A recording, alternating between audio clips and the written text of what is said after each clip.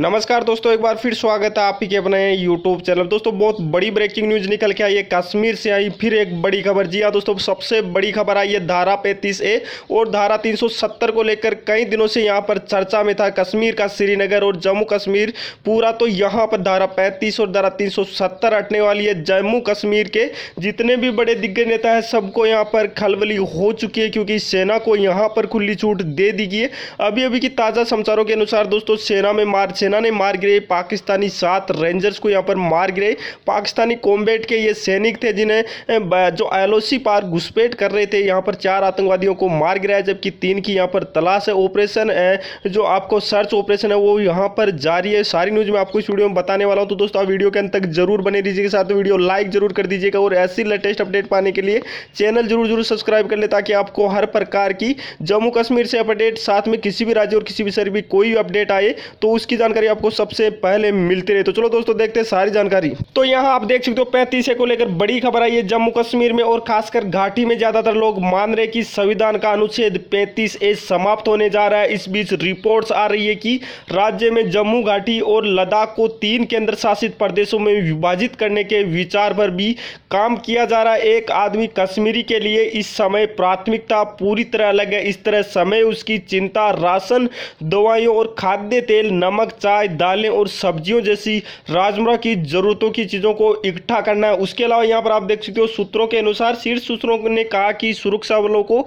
घाटी में सिकंजा कसने के लिए अगले 24 घंटों में तैयार रहने के लिए कहा गया सरकारी सूत्र ने कहा कि अमरनाथ यात्रियों और पर्यटकों को घाटी से निकलने के लिए बहत्तर घंटे का समय दिया गया। बहत्तर घंटे के अंदर अंदर जम्मू कश्मीर को खाली करना है। इस बीच घाटी में एटीएम बूथों और पेट्रोल पंपों पर भीड़ उमड़ आई है। उसके अलावा घाटी में तीस साल बाद में डर फैला रही है सरकार। जी हाँ दोस्तों, जम्मू कश्मीर सरकार फिर से डर फैला रही है। इस तरह जहाँ प्रशासन अचानक योजनाएँ बना रहा है, उन पर चर्चा कर रहा है और उन्हें फिर से तैयार कर रहा है। वहीं दूसरी ओर घाटी में आम आदमी खुद को प्रशासनिक और सुरक्षा बंदोबस्तों के अनुकूल डालने की कोशिश कर रहा है। किसी को नहीं पता कि क्या होने वाला है। फिर भी किसी को संदेह नहीं है कि कुछ बड़ा होने वाला इस बीच जो यह कहते हैं कि इस राज्य के विशेष दर्जे को बदलने के विचार से केंद्र भी खिलवाड़ नहीं कर सकता, वे भी चकित है। राज्य प्रशासन और केंद्रीय सुरक्षा एजेंसियों के साथ मिलकर अभ्यास करने के बीच कश्मीरियों ने लंबे समय तक कर्फ्यू लगे रहने की आशंका के कारण ज़रूरी सामान जुटाने हुए अन्य तैयारियाँ शुरू कर दी गई इधर बात आती है जम्मू कश्मीर में हलचल के बीच गवर्नर ने संवैधानिक प्रावधानों पर कही बड़ी बात कही है तो गवर्नर ने शुक्रवार को भी कहा था कि अनुच्छेद पैंतीस को निरस्त करने की किसी भी स्तर पर कोई योजना नहीं है। यही बात उन्होंने शनिवार को भी दोहराई कि अतिरिक्त जवानों की तैनाती सुरक्षा के मकसद से है। किसी संवैधानिक प्रावधान में बदलाव को लेकर नहीं बता दे कि अनुच्छेद पैंतीस राज्य की विधायिका को राज्य के स्थायी निवासी को परिभाषित करने की अनुमति देता है। राज्य प्रशासन मानता है कि राज्यपाल का यह बयान अफवाहों को खत्म करने के लिए पर्याप्त है।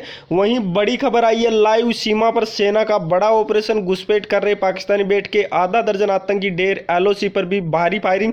भारतीय सेना ने सीमा पर बड़ा ऑपरेशन करते हुए सीमा पार से घुसपैठ कर रहे आधा दर्जन से ज़्यादा आतंकवादियों को मार गिराया। इनमें पाकिस्तान की बॉर्डर एक्शन टीम के सैनिक भी है, इनकी लाशें अभी बॉर्डर पर ही पड़ी है, क्योंकि दोनों तरफ़ से भारी फायरिंग हो रही है। यहाँ पर देख सकते हो, जो फ़ोटो आपके सामने स्क्रीन पर दिखाई दे रही है, एक, दो, तीन और ये चार फ़ोटो है जो वहाँ पर, दोस्तों, सामने जो किरण जो चौकी थी, वहाँ सामने वाली चौकी से वहाँ से यह फ़ोटोज़ लिए गए हैं जो पाकिस्तान कॉम्बैक्ट के यहाँ पर चार आतंकवादियों और दो आपके जो पाकिस्तान के सेना के जवान हैं जो घुसपैठ करते हुए मारे गए। इनकी फ़ोटो भी यहाँ पर ली गई है, जबकि तीन की यहाँ पर तलाश जारी है। पाकिस्तान को यह भी बोला गया है कि वो सफ़ेद झंडा लेके अपनी अपने सैनिकों की लाशें यहाँ से लेके जा सकता है। सीमा पर सेना का बड़ा ऑपरेशन घुसपैठ कर रहे पाकिस्तानी बेट के आधा दर्जन आतंकी डेर एल पर भारी फायरिंग जारी है। भारतीय सेना ने सीमा पर बड़ा ऑपरेशन करते हुए सीमा पार घुसपैठ कर रहे आधा दर्जन से ज़्यादा आतंकवादियों को मार गिराया इनमें पाकिस्तान की बॉर्डर एक्शन टीम के सैनिक भी है।